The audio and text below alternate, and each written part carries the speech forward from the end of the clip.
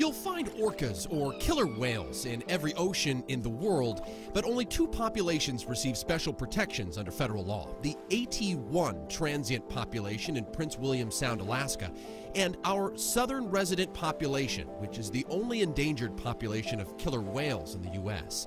So, how many southern resident orcas are there? At last count, 73.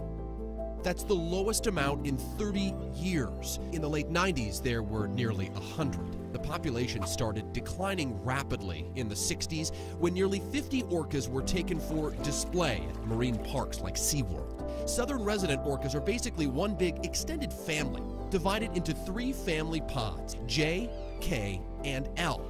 The J pod is most likely to appear year round in our waters. The L pod is by far the largest, with 34 orca whales.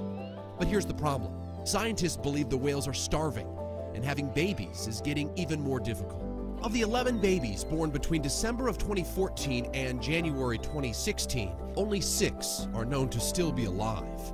And it's estimated around 70% of orca pregnancies are failing. So, why is this happening? Fish, specifically Chinook salmon, otherwise known as king salmon, it's the orca's primary food source, and their numbers are dwindling too, down 60% since the EPA started tracking fish in the 80s.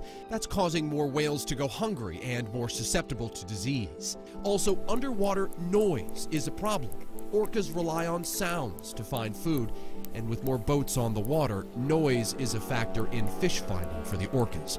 Then there's pollution. Scientists believe toxic pollutants are contaminating the whales and they're even passing those toxins onto their babies.